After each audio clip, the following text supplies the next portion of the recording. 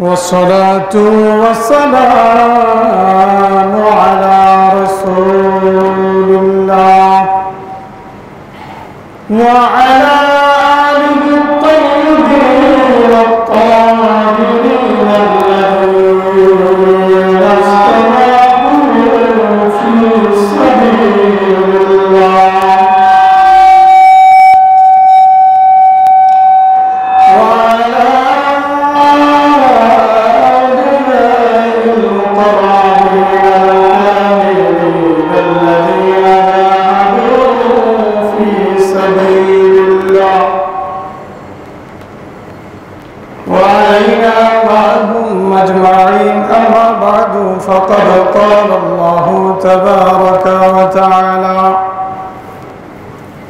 في شان أهل بيت النبي صلى الله تعالى عليه وعلى آله وصحبه وبارك وسلم.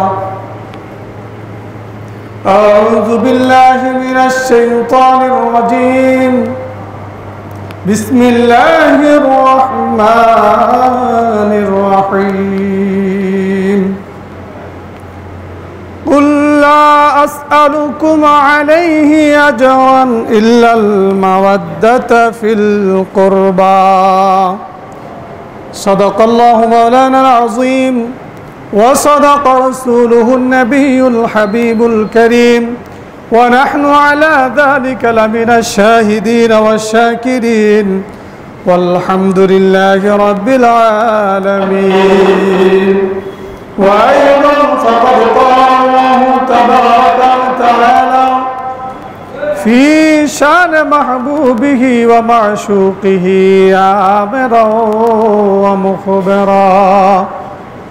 إن الله وملائكته يصلون على النبي. يا أيها الذين آمنوا صلوا عليه وسلموا تسليما. اللهم صل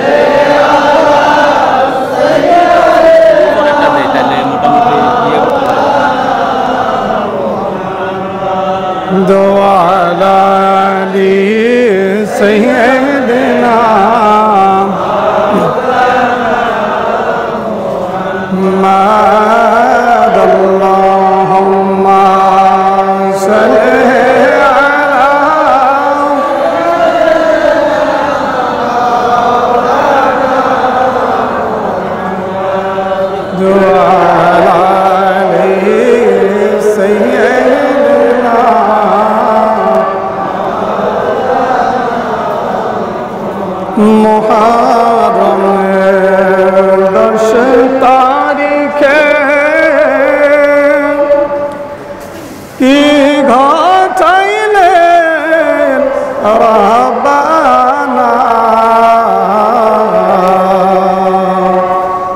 খদিজা ফাতিয়া যায় গো শুনি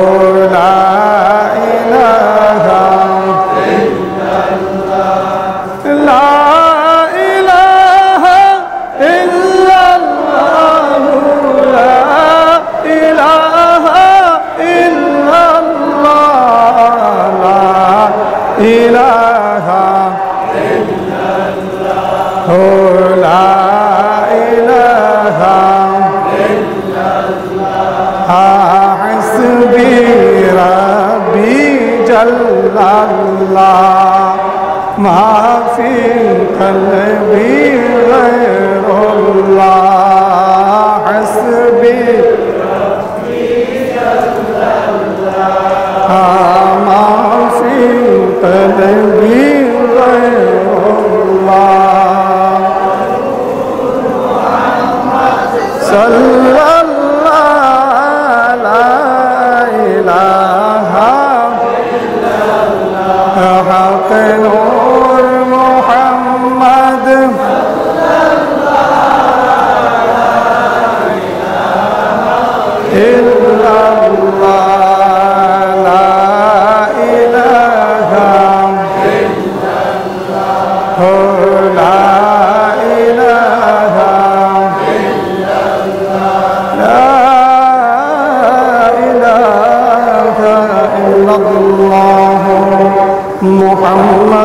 رسول الله. صلى الله تعالى عليه وعلى آله وصحبه وبارك وسلم. الحمد لله معزز محترم واجب الاحترام والاحتشام. حاضران عاشقان محبان. মুস্তফা সাল্লাহ তাআলা আলাইহি ওয়ালিহি ওয়াসাল্লাম আল্লাহ পাক জাল্লা মজদুহু জাল্লা জালালুহুর আলিশান দরবারে লাখো কোটি শুকরিয়া জ্ঞাপন করছি যে রব্বুল আলামিন আহকামুল হাকিমিন পরওয়ারদিগারে আলম আমাদের সকলকে দয়া করে মায়া করে আজকে আল্লাহর ঘর মসজিদে এসে জুমার সালাত আদায় করার তৌফিক এনায়েত করেছেন। শুক্রিয়া তান আমরা সকলে বলি আলহামদুলিল্লাহ। আরও শুক্রিয়া আদায় করছি। পেয়ারা নবী সাহেব লাউলাদ নূরে মুজাসসাম হুজুর পুর নূর আহমদ মুজতবা মোহাম্মদ মুস্তফা সাল্লাল্লাহু তাআলা আলাইহি রাজ দরবারে যে নবীজির নওয়াসা, যে নবীজির নাতিদের বদন্যতায় তাদের রক্তের প্রবাহের কারণে আমরা আজকে সঠিক ইসলাম পেয়েছি। সকলে শুক্রিয়া তান বলি আলহামদুলিল্লাহ। আরও শুক্রিয়া আদায় করছি ওই সমস্ত আউলিয়াই কেরাম, যাদের যুদ্ধ জাহাজ এবং যারা সব সময় হুসাইনি ইসলামকে সারা বিশ্বব্যাপী ছড়িয়ে ছিটিয়ে দেওয়ার জন্য নিজেদের অক্লান্ত পরিশ্রম করে গিয়েছেন ওই সমস্ত আউলিয়া দরবারে শুক্রিয়া তান সকলে আবার বলি, আলহামদুলিল্লাহ। সম্মানিত উপস্থিতি, আজকে এমন একটি দিন আমরা উপনীত হয়েছি, যে দিনটি মাহে মহাবঙ্গ তালামের মধ্যে সবচেয়ে উত্তম দিন। সকলে বলি, আলহামদুলিল্লাহ। আল্লাহ সবচেয়ে বেশি মর্যাদা দিয়েছেন মহাবঙ্গ হারামের আশুরার দিনকে, দশই মহারমকে আল্লাহ ওয়া এই দিনকে এত বেশি মর্যাদা দিয়েছেন যে বাবা আদম থেকে শুরু করে ঈসা রহুল্লাহ পর্যন্ত এমন কোনো নবী এবং রসুল নেই। যাদেরকে আল্লাহ কোনো না কোনো নিয়ামত দিয়ে এই দিনের মধ্যে ভরপুর করেছেন, সকলে জোরে সরে বলি, আলহামদুলিল্লাহ। আর এমন একটি দিন, এই দিনটি সবচেয়ে পরিপূর্ণ করে দিয়েছেন সবচেয়ে বেশি মর্যাদাবান করে দিয়েছেন, এবং আমাদের কাছে নয়, কেয়ামত অবধি উম্মতে মোহাম্মদের জন্য সবচেয়ে চিরস্মরণীয়, চিরবরণীয়, চিরপালনীয় এমন একটি সময় হয়ে গিয়েছে যেটা আল্লাহর নবীজির নওয়াসায় রসুল সাল্লাহ আলহি আসাল্লাম সহ আহলে বাইতের সেই বাহাত্তর জন যা সদস্য যারা মজলুমভাবে নির্বিচারে সেই ইয়াজিদি বাহিনীর হাতে শহীদ হয়েছে, ওই দিনটি আমাদের নয়, সকল উন্মতের জন্য নয়, শুধু সমগ্র মাখলুকাতের জন্য, জিন, ইনসান ফেরস্তা যা আছে সকলের জন্য এটা স্মরণীয়, বরণীয় এবং পালনীয় হয়ে থাকবে। সকলে বলি আল্লাহ আজকে সময় যেহেতু জুমার সময় সংক্ষিপ্ত, ইমাম হুসাইনের কারবালার ইতিহাস বলে আমিও অদম আমার সারা জীবন শেষ হয়ে গেল। এই কারবালার ইতিহাসের রহস্য উদ্ঘাটন এবং কেন কি শেষ করা যাবে না কিন্তু সেখান থেকে যে শিক্ষণীয় বিষয়গুলো থাকবে, সামান্য আলোকপাত করব, একটু মনোযোগ দিয়ে শোনার চেষ্টা করবেন। এবং আহলে বাইতে রসুল সাল্লাহ তাল আলহিসাল্লামার প্রতি আপনার যদি বিন্দু মাত্র কোনো মুবগিদ অর্থাৎ প্রতিবাদী নয়, আপনি যদি কোনোরকম বিন্দু মাত্র আহলে বাইতের সদস্যদের প্রতি যদি হিংসা, বিদ্বেষ পোষণ করেন, আপনার সালাদ সম যত রকম আমল আছে কোনো আমলই আল্লাহর দরবারে কবুল হবে না। এটার স্পষ্ট, এগুলো আমার কথা নয়। আমার পেয়ারা নবীজি সাল্লাহ যখন কারবালার ঘটনা হয়নি, যখন কারবালা শুরু হয়নি, কারবালার অনেক পূর্বেই নবীজি নওয়াসে রসুল ইমাম হোসাইন, ইমাম আলী মকামকে জড়িয়ে ধরে এভাবে কেঁদে কেঁদে বুকের মধ্যে নিয়ে নিয়ে বলেছেন যে এই আমার এই সন্তানকে, আমার এই শাহজাদাকে আমার উন্মতের মধ্যে একটা দল শহীদ করবেন বলে করে বলেন আল্লাহ নবীজি শুধু তাই নয়, এগুলো জানতেন তার পরবর্তীতে। কোন কম থেকে করা হবে? কারা করবে? তার বাপ দাদার নাম কি? এবং তার নাম কি তাও জানতেন, বড় করে বলেন আপনারা শুনে আশ্চর্য হবেন। মুসনাদে আবি আলার মধ্যে হাদিস শরীফ এনেছেন।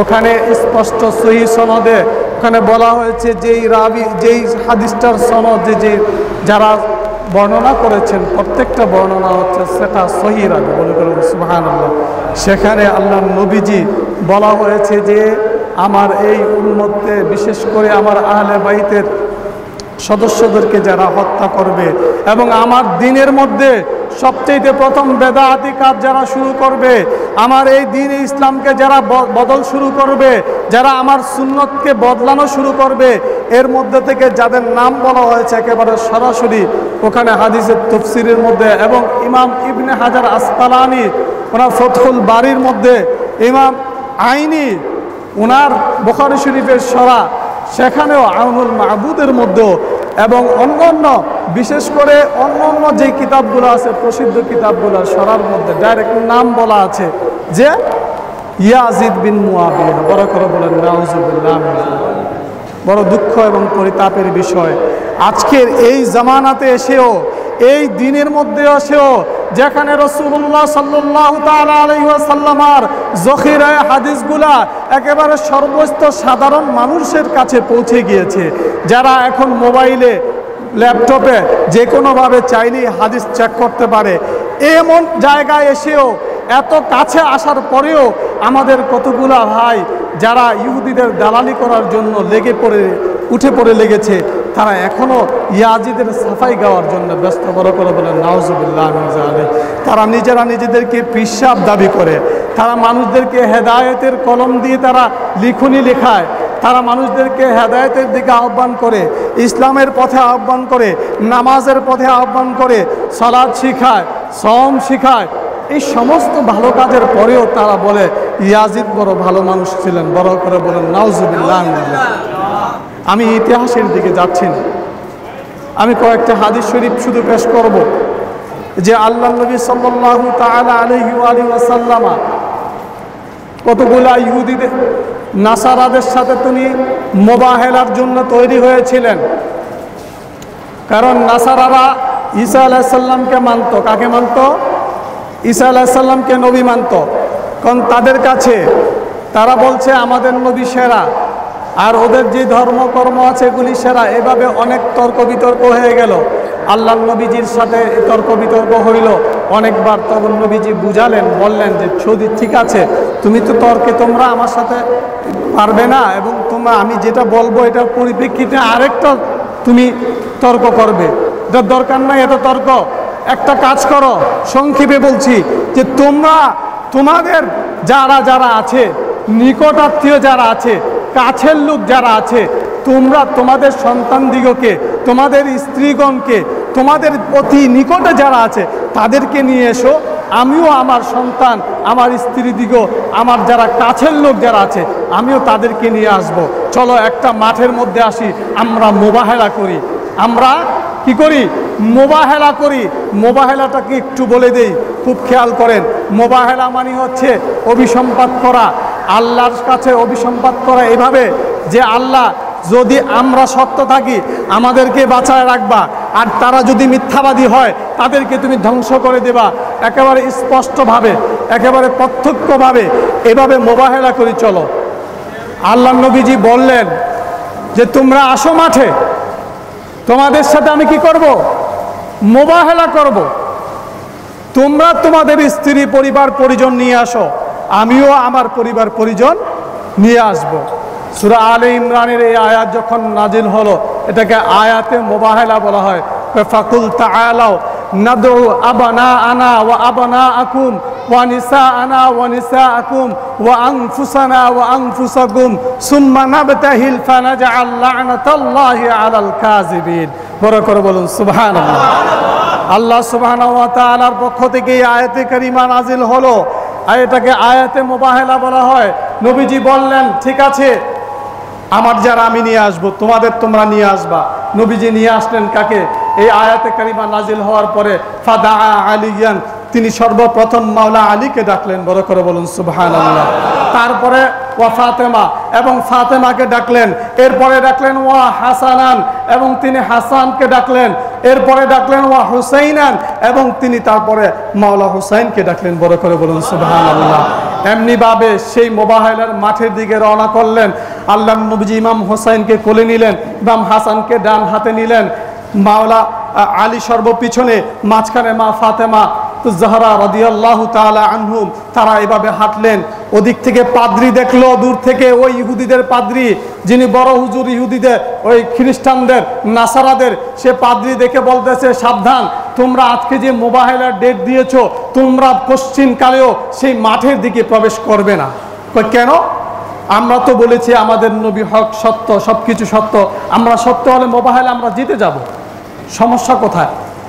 আমি যে চেহারাগুলো আমি দেখতে পাচ্ছি এই চেহারাগুলো যদি আল্লাহর দরবারে যদি বলে, আল্লাহ, এই পাহাড়টাকে তুমি উঠে নিয়ে আরেক জায়গায় নিক্ষেপ করো। আল্লাহর কসম করে বলছি, এই পাহাড়টাকে আল্লাহ তাদের কথায় উঠে নিয়ে আরেক জায়গায় ফেলে দিবে। বড় করে বলুন সাবধান, খবরদার। তোমরা যদি তাদের সাথে মোবাহেলায় যাও, তোমরা তো যা বেঁচে আছো আছো। খেয়ামত অবধি কোনো নাসারা আর অবিশিষ্ট থাকবে না, সব ধ্বংস হয়ে যাবে। বড় করবেন নাউজুবিল্লাহ। আমি এটা কেন বললাম? যে যেখানে আহলে বাইতের অবস্থান, যেখানে তারা এরকম অবস্থানে আছে যে তারা দোয়া করলে আল্লাহ পাহাড়কে উল্টিয়ে দিতে পারে। যেখানে তারা দোয়া করলে তাদের জন্য বেহেস্তে থেকে জামা নিয়ে আসে, যেখানে তারা দোয়া করলে মা ফাতেমাত জাহারার জন্য খাবার নিয়ে আসে, যেখানে দোয়া করলে মা ফাতেমাত জাহারার জন্য বেহেস্তে থেকে কাপড় চোপড় নিয়ে আসে, যেখানে দোয়া করলে আল্লাহর নবীজির কাছে ইমামে হুসাইন ছোট, একেবারে ছোট অবস্থায়। ইমামে হুসাইন বলতেছেন, ওগো নানা, আপনি তো বড় ভাইকে, অর্থাৎ ইমাম হাসানকে একটা ছোট হরিণের বাচ্চা গিফট করেছেন। কি দিয়েছেন? হরিণের বাচ্চা। এটা রাখো, বিরক্ত লাগে। কি দিয়েছেন? একটা লোক বনে গিয়েছেন, একটা হরিণের বাচ্চা পেয়েছেন। সে মানত করছে আল্লাহ নবীজির কাছে দেবে। সে ওই হরিণের বাচ্চাটা নবীজির দরবারে উপহার উপটৌকন নিয়ে গিয়েছেন। এটা আল্লাহ নবীজি গ্রহণ করেছেন। ইমাম হাসান গিয়েছেন। আল্লাহ নবীজি নাতি, বড় নাতি তিনি দেখলেন পছন্দ হয়েছে। ওটাকে দিয়ে দিলেন বড় ভাইকে। ইমাম হাসানকে ওই হরিণের বাচ্চাটা দিয়ে দিলেন।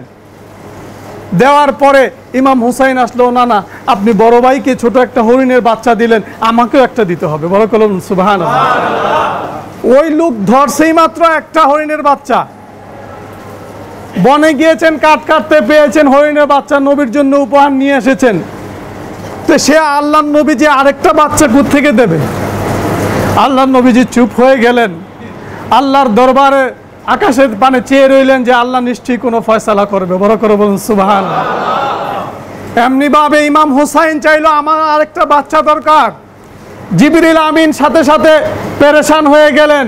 আল্লাহর আরশে আজিম পর্যন্ত এই ডাক পৌঁছে গেল যে ইমাম হুসাইন ক্রন্দন করছে। ইমাম হুসাইনের ক্রন্দন যেখানে আরশে আজিমের রব সহ্য করতে পারে না, বড় করে বলুন তিনি বলেন, জিবরিল, তাড়াতাড়ি যাও। ওই হরিণীকে খবর দাও। তার একটা বাচ্চা গিয়েছে, আরেকটা বাচ্চা নিয়ে যেন সে হাজির হয়, বড় করে বলুন। সে জংলার হরিণী, সে আরেকটা বাচ্চা নিয়ে হাজির হয়ে গেল। আল্লাহ নবীজির দরবারে হরিণী কন্দন করতে করতে বললেন, ইয়া রসুল আল্লাহ আমার বেয়াদুবি মাফ করবেন। আমি যদি জানতাম এটা আপনার না আসার জন্য, ইমাম হাসনাইন কারিমাইনের জন্য এটা উপহার হবে, আমি এমন আমার যত বাচ্চা আছে সবগুলো আমি দিয়ে দিতাম। বড় করে বলুন আমার একটা কেন? আমার যদি হাজারো বাচ্চা থাকে, আমি ইমাম হোসাইনের জন্য শহীদ করতে রাজি আছি। বড় করে বলুন সেখানে জংলার হরিণী তার নিজের বাচ্চা ইমাম হোসাইনের জন্য ছোট অবস্থায় কন্দন করছে নবীর দরবারে নিয়ে আসলেন। নবীকে লজ্জা দিলেন না, বড় করে বলুন, সুবহানাল্লাহ। কার কাছে? নাতির কাছে। যেখানে আল্লাহ চাওয়ার আগে ইমাম হুসাইনকে এগুলা দেয়। এরপরেও কি ইমাম হুসাইনের বাদশাহী দরকার ছিল? খেলাফতের প্রয়োজন ছিল? আরে যেখানে মাওলা আলী খেলাফত নিতে অস্বীকার করেছিলেন। তিনি সবচেয়ে যোগ্যতা থাকা সত্ত্বেও যেখানে তিনি খেলাফত নিয়ে দৌড়াদৌড়ি করেননি, সকলে মিলে ইসলামের ক্রান্তিকালে তাকে খেলাফতে অধিষ্ঠিত করা হয়েছে। তারপরেও কত নিষ্ঠিরতা, নির্মমতা এবং অনেক রকম অন্যায়, অত্যাচার, অবিচার এবং কুপ্ররোচনা মুনাফিকির মাধ্যমে তাকে খেলাফতচ্যুত করা হয়েছে। বড় করে নাউজুবিল্লাহ তখন কারা ছিল? অনেক নামদারি, যেখানে নবীর জমানায়ও ছিল নবীর জামানায় ছিল। নবীর সাথে হাতে হাত রেখে বায়াতও গ্রহণ করেছে। সাহাবাদের সাথে মিশে একসাথে এক কাতারে নামাজ পড়েছে। তাদের সাথে রোজা রেখেছে। তাদের সাথে ময়ানাকা করেছে কোলাকুলি করেছে হাত মিলিয়েছে। এরপরেও তাদের মধ্যে নেফাকি মুনাফিকত আছে। বড় করে বলেন নাউজুবিল্লাহ। আল্লাহ নবী যে হাদিস শরীফ ফরমান এই জন্য আগেই তিনি সতর্ক করে দিয়েছেন।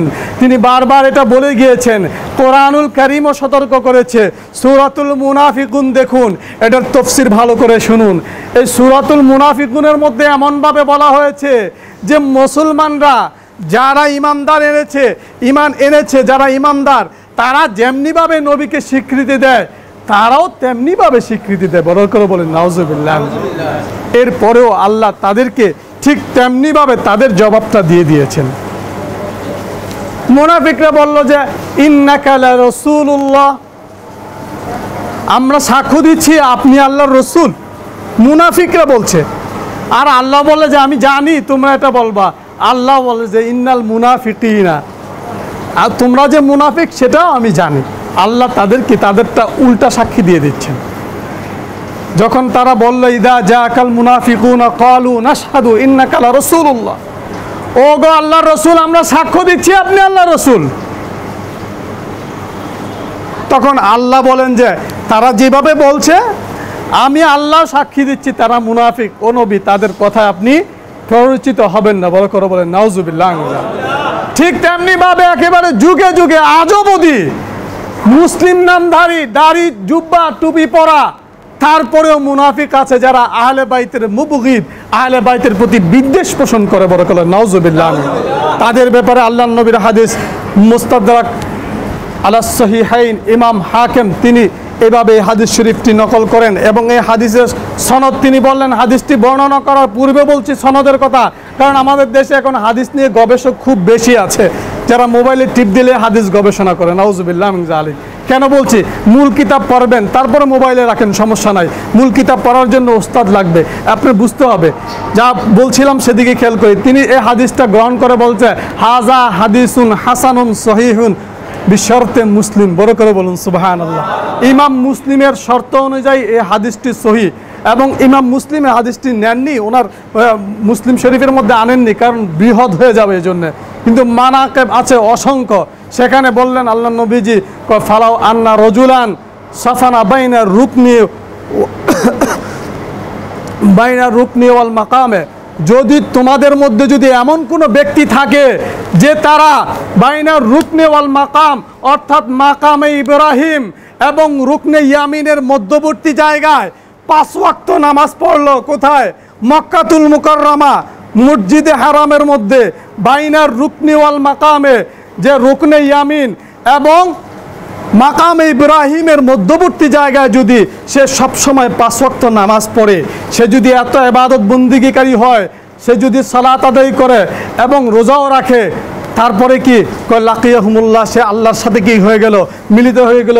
ওহুয়া মুবগিদুল্লি আহলে বাইতিন নবী সাল্লাল্লাহু তাআলা আলাইহি ওয়াসাল্লাম। কিন্তু সে অবস্থায় সে মারা গেল। সে ছিল আহলে বাইতের মুবগিদ। আহলে বাইতের প্রতি বিদ্বেষী। আল্লাহ সুবহানাহু ওয়া তাআলা বললেন, তার অবস্থা দেখালান নার। বড় করে বললেন, নাউজুবিল্লাহ জালিক তার অবস্থাটা কোথায় হবে? সে জাহান নামে যাবে। তার অবস্থাটা কোথায় হবে?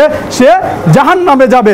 সে যদি মক্কাতুল মুকাররমা মসজিদে হারামের মধ্যে বাইনার রুকনে ওয়াল মাকাম, আরে রুকনি আমিন এবং মাকাম ইব্রাহিমের মধ্যবর্তী জায়গায় পাঁচক্ত নামাজ পড়ে তারপরে যদি আহলে বাইত বিদ্বেষী হয় তাহলে সে জাহান নামে যাবে। বড় করে বল, নাউজুবিল্লাহ। এটা আমার মুখের কথা নয়, এটা কার হাদিস? আল্লাহ নবীজির হাদিস। কেন বললেন? কয়গুলা বলার কারণ আছে নবীজি আগেই জানতেন। নবীজি আগেই জানতেন, স্পষ্ট অনেকগুলো হাদিস। তিরমিজি শরীফের হাদিসের মধ্যে আল্লাহ নবীজি বললেন সাতাকতুলু উম্মতি ইবনি হাজা। আরে এটা অচিরেই আমার উম্মতের মধ্যে, উম্মতের লোকেরা আমার এই শাহজাদাকে হত্যা করবে। বড় করে বলেন, নাউজুবিল্লাহ। অসংখ্য এভাবে শুধু এটা নয়, নবীজির নাম জানতেন, জায়গা জানতেন কই এটা কোথায় হবে কই জায়গার নাম কারও বালা হবে, কি হবে? করবু বালা, যেখানে কি হয়, বালা মুসিবত সবচেয়ে বেশি থাকে, সেই জায়গার নামও বলে দিয়েছেন। সেই জায়গার মাটি এনে হজরতে উম্মা সালমা, যিনি উম্মাতুল মুমিনিন, ওনার কাছে এটা রেখে দিয়েছেন যে, উম্মা সালমা, দেখো এই মাটিটা তোমার কাছে রাখো, জিবরিল আমিন আমাকে দিয়ে গিয়েছেন। এটা কোন জায়গার মাটি? কারবালার মাটি। যখন দেখবে এটা সুরুখ হয়ে যাবে, লাল হয়ে যাবে, তখন বুঝবে আমার হুসাইনকে শহীদ করা হয়েছে। বড় করে এগুলো জানার পরেও তারপরে ইমাম হুসাইন শুধু আল্লাহ নবীজি জানতেন, মা ফাতেমা তো জাহারা জানতেন, মাওলা আলী জানতেন। মাওলা আলীর যখন ক্ষমতা ছিল, তখনও তিনি কুফার গভর্নর ছিলেন। কুফাতে মাওলা আলীর গভর্নরই চলতো। উনি মদিনা থেকে রাষ্ট্রকে কি, ইরাকে নিয়ে গিয়েছেন। তখনও তিনি ওই জায়গাগুলো হেঁটেছেন এবং ওনার সাথে যে সাহাবিরা ছিল, ওনার সাথীরা ছিল, তাদেরকে বলেছেন, এই জায়গাটা হবে আমার শাহজাদাদের কি? শাহাদাতের স্থল। এই জায়গাটা তখন তিনিও জানতেন, বড় করে বলুন, সুবহান। মদিনা শরীফের অনেক সাহাবায়করাম জানতেন। ইমাম হুসাইন নিজে খুদ জানতেন, আহলে বাইতের সদস্যরা পর্যন্ত জানতেন। এত কিছু জানার পরেও তারা কশ্চিনকালেও থামেনি, তারা বরঞ্চ ওই জায়গার মধ্যে গিয়েছেন। কারণ নানা জানের যে উম্মতকে বাঁচাতে হবে, বড় করে বলুন সুবহান আল্লাহ আরে নানা জানের উম্মতকে যে সঠিক ইসলাম দিতে হবে, বড় করে বলুন সুবহান আল্লাহ আল্লাহ সুবহান তাআলা এতগুলা জানার পরেও তারা থামেনি। কেন? শুধুমাত্র কি ক্ষমতার জন্য? নাউজুবিল্লাহ জালিক এই জন্যে আমাদের উপমহাদেশের, আসসালামু আলাইকুম রহমতুল্লাহ। প্রখ্যাত আউলিয়া কেরামদের শিরোমণি হজরত খাজা মঈনুদ্দিন সিস্তি হাসান সঞ্জিরি, তিনি বলেছেন, শাহ আস্তে হুসাইন বাদ শাহ আস্তে হুসাইন। বড় করে বলুন সুবাহান আল্লাহ আর তোমরা যেটা বলছো সেটা নয়। আরে হুসাইন তো এমনিতেই বাদশাহ। শাহ আস্তে হুসাইন বাদ শাস্ত হুসাইন। কয়, শাহ মানি হচ্ছে দুনিয়ার বাচ্চা এরকম না। কয় শাহ মানি দুনিয়া এবং আখেরাতেরও বাচ্চা বলে কবে? আর বাদশাহ আসতে হোসেন কয় বাচ্চা মানে তোমরা যেটা দুনিয়ার বাচ্চা মনে করো সেটাও হুসাইন বড় করে বলেছে। কয় দিন আসতে হোসাইন দ্বীপ পানা আসতে হোসাইন তোমরা যেটাকে দিন ধর্ম মনে করছ আর এই দিন ধর্মের মূল হচ্ছে হোসাইন বড় করে বলুন, সুবহানাল্লাহ। আর এই দিনকে যে প্রতিষ্ঠিত করবে, দিন যে জায়গায় যা বেঁচে থাকবে, দিনকে গলা টিপে হত্যা করা হচ্ছে, দিনের মধ্যে বেদাত ঢুকে দিচ্ছ, দিনের মধ্যে মদ্যপ ইয়াজিদের মতো দুঃশাসনী লোক ঢুকে দিচ্ছ, এই দিনের আশ্রয়স্থল হবে দ্বীপ পানা আসতে হোসাইন, সেটাও হবে হোসাইন, বড় করে বলুন সুবহান কয় সরদদ না দর দর দস্তি ইয়াজিদ তিনি মাথা দিয়েছেন, কিন্তু দেননি তার হাত ওই ইয়াজিদের হাতের মধ্যে। তিনি তার গরদান দিয়েছেন, কিন্তু কি দেননি? ইয়াজিদের হাতে তার হাত দেননি। হাক্কাকে করে শুধু তাই নয়, তোমরা যে হকের বেনা পড়ছো কালিমায় তৈবার যে মূল ভিত্তি লা ইলাহা ইল্লা আস্তা হুসাইন। এই লা ইলাহা ইল্লার ইলাহা ইল্লাল্লাহু মুহাম্মদুর রাসূলুল্লাহ সাল্লাল্লাহু তাআলা আলাইহি সাল্লাম এই কালেমার ভিত্তিও হুসাইন, বড় করে বলুন, সুবহানাল্লাহ। এটা আমার কথা নয়, এটা হচ্ছে যে খাজা মঈনুদ্দিন চিস্তি হাসান সঞ্জিরির কথা। পেয়ারে হাজরিন, কারবালার ইতিহাস ইনশাল্লাহ আজকে আপনাদের সকলের প্রতি দাওয়াত রইল। আজকে আমরা কারবালার অনুষ্ঠান করব। আল্লাহ আজ্জাওয়াজাল্লা চায় আমার মতো আমি নয়, এমন হাজারো আমার মতো মা, মায়ের সন্তানরা যারা আছে, তারা যদি আহলে বাইতের প্রেমে শহীদ হয়, কোরবান হয়, কোনো কিছু আসে যায় না। আমি আজকে সবচেয়ে বেশি আশ্চর্য হয়েছি, কারবালার ইতিহাস অনেকবার পড়েছি, বারবার পড়ছি, যতবারই পড়ি, আমার হৃদয়টা কে, কেঁদে ওঠে, বারবার চূর্ণ বিচূর্ণ হয়ে যায়। সেখানে এমন কিছু কিছু ছোট ছোট ঘটনা আছে, যে ঘটনাগুলো হৃদয়ের মধ্যে রেখাপাত করে। ইমাম হুসাইন আলাই ইসালাম ওনাকে যখন শহীদ করার পূর্বের অনেক ঘটনা মুসলিম বিল আকিলের যে বাচ্চা দুইটা বাচ্চা ছিল তাদেরকে শহীদের ঘটনা এই প্রত্যেকটা ঘটনা ওনাদেরকে মুসলিম বিল আকিল এর ছেলেদেরকে যারা সাহায্য করেছিল আশ্রয় দিয়েছিল এ তাদের যে মর্মান্তিক ঘটনা এগুলো অনেক কঠিন কঠিন ঘটনা। এরপরেও কি বলবেন ইয়াজিদ ভালো মানুষ ছিল? এরপরেও কি আমাদের দেশের নামধারী সে পিসাব বলে? সে বলে, ইয়াজিদ বলে দিনে বলে একশো টাকার নামাজ পড়তো, নাউজুবিল্লাহ। সে বলে, রোজা রাখতো। যেখানে সুন্নতের পাবন্দি নাই, যেগুলো নবীজি নিষেধ করেছেন, হারাম করেছেন ইসলামে, স্পষ্ট আবু দাউদ শরীফের হাদিসের মধ্যে, এগুলা ইয়াজিদের দরবারে আগে থেকেই ছিল। তার বাপদাদার সময় থেকেই ছিল।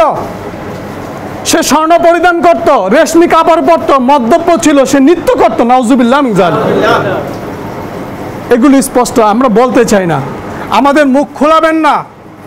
আমরা যদি মুখ খুলি আমাদের থেকে বলতে হবে না, কোরআন ও শূন্য অসংখ্য দলিল আছে তাদের বিরুদ্ধে। আমরা শুধু মুখ খুলি না, কারণ তাদের সাথে তারা শুধু বাঁচার জন্য, তারা সিফিনের মধ্যে বাঁচার জন্য যেমনিভাবে কোরআন শরীফকে বর্ষার মধ্যে আঘাত ঢুকিয়ে তারা সেই যুদ্ধকে বন্ধ করতে চেয়েছিল, সেটা কৌশল করেছে। তেমনিভাবে আজ অবধি কারবালার প্রান্তরে এমনি অনেকবার তারা পোল্টিবাজি করেছে। বড় নাউজুবিল্লাহ আমি জানি। ইমাম হুসাইন কারবালায় যে তাদেরকে সর্বপ্রথম তিনটা প্রস্তাব দিয়েছিল। একটি প্রস্তাবও তারা রাখেনি। তাদেরকে প্রথম প্রস্তাব দিয়েছিল, দেখো, আমি তোমাদের সাথে যুদ্ধ করতে আসিনি। আমি তোমাদের সাথে যুদ্ধ করতে আসিনি। আমাকে প্রয়োজনে আমার যে জায়গা থেকে আমি এসেছি, আমাকে সেই মদিনায় যে যাওয়ার ব্যবস্থা করে দাও। বড় করে বোন সুহান দ্বিতীয় প্রস্তাব ছিল, ঠিক আছে। আমাকে এমন একটি জায়গায় নিয়ে যাও। আমি তোমাদের রাজ্যেও থাকতে চাই না। আমাকে সীমান্তবর্তী কোনো রাজ্যে রেখে আসো। আমি ওখানে থাকব। তোমাদের এগুলোতে আমি কর্ণপাতও করব না, দখলদারিতেও যাব না। বড় করবেন সুহান এরপরে আরেকটি প্রস্তাব দিয়েছিলেন যে, ঠিক আছে, যদি এটাও না মানো, তাহলে সরাসরি আমাকে ইয়াজিদের কাছে নিয়ে যাও। আমি তার সাথে কথা বলি দেখি এটা সমাধান করতে পারি কিনা। যেমনিভাবে আমার বড় ভাই, ইমামে আলী বকাম ইমাম হাসান আলাইসাল্লাম তিনি করেছিলেন। মুয়াবিয়ার সাথে যেভাবে তিনি চুক্ত করেছিলেন, আমিও চাই ইয়াজিদের সাথে এরকম চুক্তি করতে বা কথা বলতে। তুমি আমাকে নিয়ে যাও, তো চুক্তিটা কি হবে? যে তুমি মসনদ তোমার থাকবে ঠিক আছে, কিন্তু ইসলামকে বিকৃত কেন করছ? তুমি যেটা হারাম সেটাকে হারাম কেন মানছো না? যেটা হালাল সেটাকে তুমি অন্যায়ভাবে কেন হালাল মানছো না। এখানে ইমাম হুসাইনের বাধা এই জায়গায়।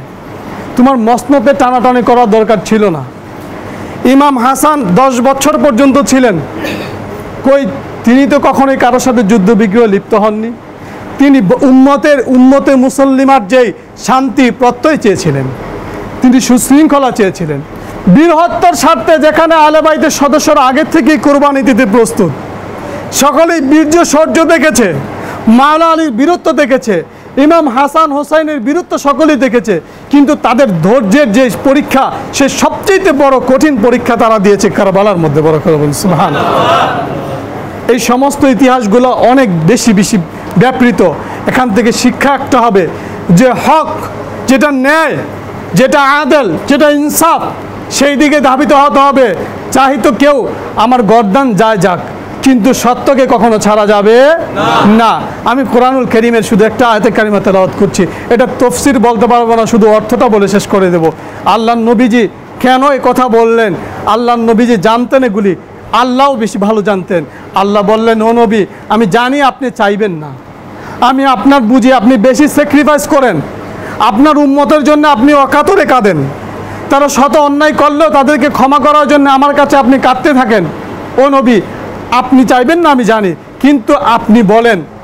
আপনার জবান দিয়ে উম্মদদেরকে বলে দেন, লা আস আলুকুম আলাইহি আজরা।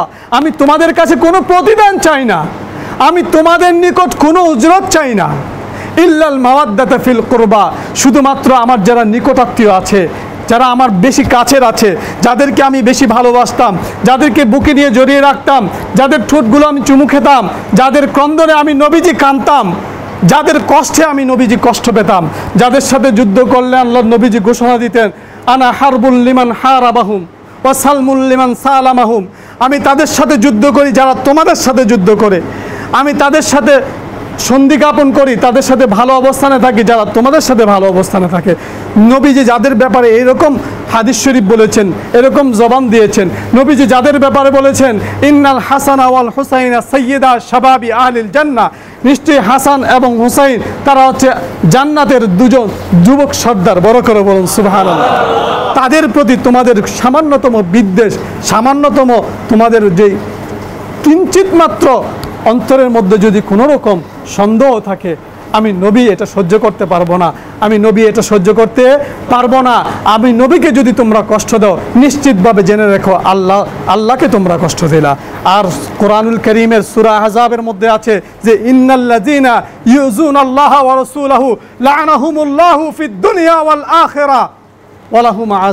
মুহিন। আর যারা আল্লাহ এবং তার রসুলকে কষ্ট দিল, আল্লাহ স্পষ্ট করে দিলেন ওয়াল তারা দুনিয়া এবং আখেরাতে তাদের প্রতি লানত, বড় করে বলেন, নাউজুবিল্লাহ ওয়ালাহুম মুহিন এবং তারা তোমরা জেনে রাখো, তাদের জন্যে তাদের জন্যে আল্লাহ একেবারে কঠিন শাস্তি, আযাব মুহিন রেখে দিয়েছেন, বড় করে বলেন, নাউজুবিল্লাহ এই আজাব মুহিন শুধুমাত্র ব্যবহার হয় কাফেরদের জন্য যারা আরবি গ্রামার এবং আরবি নিয়ে গবেষণা করেন, তফসিল নিয়ে গবেষণা করেন, তারা দেখবেন কোরআনুল করিমের কোথাও আজাব মুহিন শব্দটা আজাবা মুহিনা শব্দটা, এটা কোনো সাধারণ মানুষ যারা অন্যায় করেছে তাদের বেলায় নয়। শুধুমাত্র যারা কাফের, তাদের বেলায় ব্যবহৃত হয়েছে। বড় নাউজুবিল্লাহ মলউন ইয়াজিদের ব্যাপারে আপনারা তারপরেও কি কথা বলবেন? আপনার কি এখনও কর্ণচক্ষু খোলেনি? আল্লাহ সুবাহানাও তালা ওই সমস্ত নামদারি পিসাব জালেমদের থেকে আমাদেরকে নাজাদ দান করুক বলব আমিন। এবং সঠিকভাবে কোরআন সুন্না বুঝে আহলে বাইতের মোহাব্বত নিয়ে সালাত আদায় করার তৌফিক দান করুক বলো আমিন। ও আখর দাওয়ান আলহামদুলিল্লাহ রবিল আলমিন। আসসালামু আলাইকুম রহমতুল্লাহ তালা